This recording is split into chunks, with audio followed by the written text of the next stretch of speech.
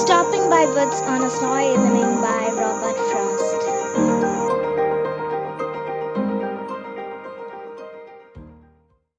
Hi friends, welcome back to G&G Dhamaka and today I'm going to present you the poem Stopping by Woods on a Snowy Evening of the poet Robert Frost.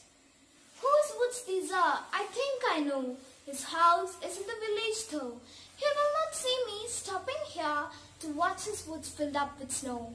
My little horse must think it cure to stop without a farmhouse near.